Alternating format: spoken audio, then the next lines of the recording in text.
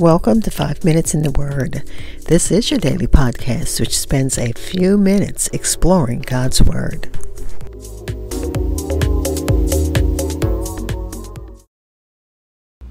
We are continuing our study in 1 Corinthians.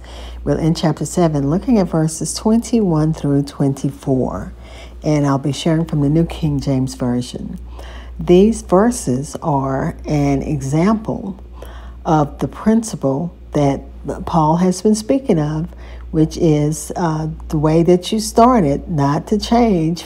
Uh, the last scriptures, verses 18 through 20, used the practice of circumcision, and the previous section before that, he looked at the principle that you can live where you are right now, and that was verse 17. So, verse 17 is the one that he's going to keep alluding to. So let's listen to verses uh, 21 through 24 of 1 Corinthians chapter 7. Were you called while a slave? Do not be concerned about it. But if you can be made free, rather use it. For he who is called in the Lord while a slave is the Lord's freed man. Likewise, he who is called while free is Christ's slave. You were bought at a price. Do not become slaves of men. Brethren, let each one remain with God in that state in which he was called. Again, 1 Corinthians chapter 7 verses 21 through 24, read from the New King James Version. I'll be back with insights and we'll close with prayer. Hi, this is Hope Scott. I am your host of the podcast, Five Minutes in the Word, which you're listening to right now. I pray that as you listen, you gain fresh insights as we study God's Word together. Five Minutes in the Word is not only available on your favorite podcast apps, including Amazon and Spotify, and even YouTube you can now listen at 10 a.m. Central Standard Time every morning on kingdompraiseradio.com. Again, that's 1 Corinthians chapter 7, verse tw- verses 21 through 24 from the New uh, King James Version. New Living Translation reads, Are you a slave? Don't let that worry you. But if you get a chance to be free, take it. And remember, if you were a slave when the Lord called you, you are now free in the Lord. And if you were free when the Lord called you, you are now a slave to Christ. God paid a high price for you, so don't be enslaved by the world. Each of you, dear brothers and sisters, should remain as you were when God first called you. And that again was New Living Translation. Verse 24 is the um, point that Paul is making in this passage that we you are to remain as you were when God called you. He used circumcision before. Now he's talking about slavery. Those who were uh, circumcised don't be uncircumcised, which was a painful procedure. Procedure. Those who were uh, circumcised did not have to become, uh, did not have to uh, be circumcised. God looked at, God still looks at the heart. And now he's using the example of slavery.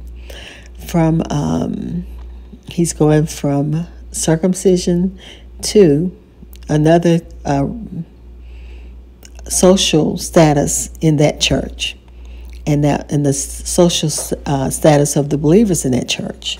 The church in Corinth included people from every station in life. Many of them were slaves. And again, many of them were probably circumcised, and many were uncircumcised. But anyway, it says, therefore, if a believer was a slave when he became a Christian, he could remain a Christian and a, uh, continue as a Christian slave, doing his work as for the Lord. Of course, they were also uh, free to seek freedom, but in the meantime, they should obey God in that position that they were in. So again, remain in the state that you were in when God called you. Until, again, in the case of the slave, if you can seek your freedom, you know, do so. Slavery was common throughout the Roman Empire. So many of the uh, believers in Corinth were slaves when the Lord called them. Paul said that although the Christian slaves remained enslaved to other human beings, they were free from the awful power of sin in their lives. And you have to remember that they were coming from the pagan culture where there was a lot of, uh, especially sexual immorality and eating of meats that were offered to idols and offering um, uh, sacrifices to idols. So that, of course, was not godly and against the, uh, the will of God. So they were free from the awful power of sin in their lives. These slaves had been made free. In the same way, if a person was free when the Lord called him, he is now a slave to Christ. And he's a slave to Christ because God paid a high price to bring his people to himself. He has complete authority over their lives. And again, Paul is uh, repeating what he said in verse 17 and verse 20 that uh, to stay in the situation you were in when you were called. That uh, you should serve God in that position seeking to share the gospel with those who might otherwise might not otherwise hear it. And that was from life application study bible. And then from Faithlife and also pulpit commentary and ellicott's commentary. Um, it says that some believing slaves in Corinth may have been concerned that their social status inhibited them from living for God. And Paul said, of, of course, your status, God is not looking at that. He's looking at your heart. That's not going to inhibit you from serving God. And then a pulpit commentary says that when Paul is talking about a freedman in verse 22, the Lord's freedman, he's uh, clearly, he's uh, talking about um, those who are now servants of Christ uh, is uh, opposite of what he just said about the slaves. And they're freedmen to the work of, because now they're slaves to Christ. They knew that the bondage of Satan was so crushing that mere earthly bondage was, in comparison, nothing. And that the liberty wherein Christ had made them free, that um, it might seem to take the form of service, but it was uh, perfect. It was per- it was still perfect freedom. The freedman of sin are the most hopeless slaves. The servant of God alone are free. That was from pulpit commentary. It made more sense when I read it before I wrote it down. But we understand that Paul is saying that uh, those, first he said, if you were a slave before, now you're free. And now those who were free, because of the uh, price that Christ's blood paid for your for you, you are now slaves to God and you're free from the bondage of sin. And then uh, verse 23, Ellicott says that uh, we, you were bought with a price. You were bought with the price Therefore, become not a slave of men. This carries the idea of freedmen in the previous verse. And a great price is, of course, the blood of Christ. That price that God paid was the blood of Christ. And that blood purchased our freedom, purchased by Him and therefore do not become slaves of men. Do not yield to their views by seeking to change the position of your calling. Paul urges believers not to become enslaved to human wisdom or troubled by the traditions of marriage, slavery, or circumcision. He wants us to focus on Christ and his work on the cross. And then he says, Let every man, every man uh, stay in that position in where you, uh, which you were called. Here we have an earnest reiteration of that principle.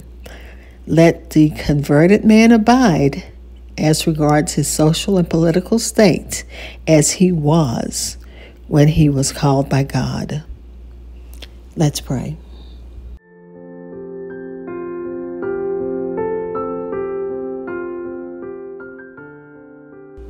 Father, we thank you as we continue studying studying your word. We know that slavery is a touchy subject, so it's not one that anyone wants to freely talk about at any time and any especially after the uh, America's history of slavery. Not that we're uh, the only country that had slavery, but slavery in America was harsh, harsher than anywhere else. So it's hard to just discuss it or even read about it. Uh, so we're going to just thank you for your word. Thank you for commentaries to help make sense of the word. Pray that as I share, that I rightly uh, divided rightly shared your word so that those who hear can understand and uh, apply what the principle is.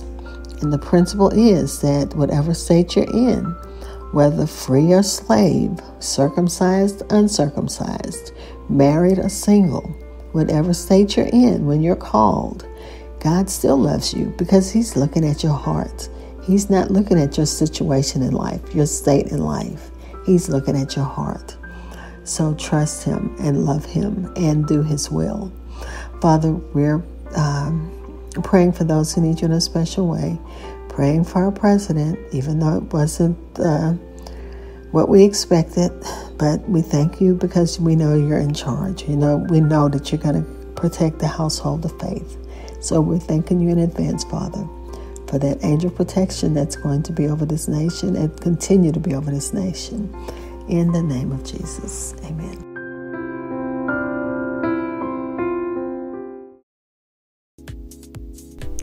Thank you for spending a few minutes of your time studying God's Word with me.